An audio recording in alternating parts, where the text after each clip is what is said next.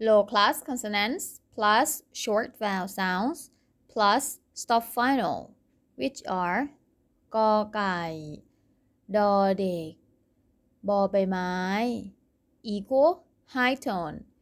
making high tone in Thai language when you pronounce a word you have to raise the sounds up and finish high let's practice with the vocabulary which end with stop final รัก รออะกอ รัก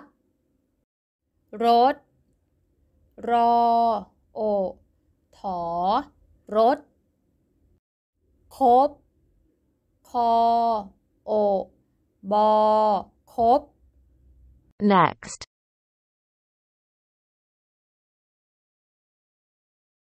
วัด รถ คิด ลึก รบกวน ชก มวย คบกัน ทุกคน มักจะ ทักทาย ซักรีด พัดลม นึกออก รถไฟ รถติด ทางลัด Next.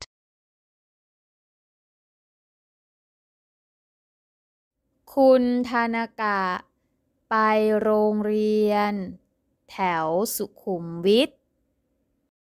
เขาเดินไปโรงเรียน ทุกวัน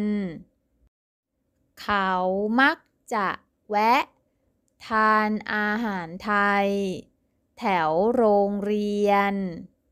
Next.